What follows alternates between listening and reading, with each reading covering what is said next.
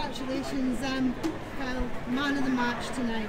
Um, a tough game against the Comets tonight. How did the match go for you guys? You know, it was a hard fought game, you know.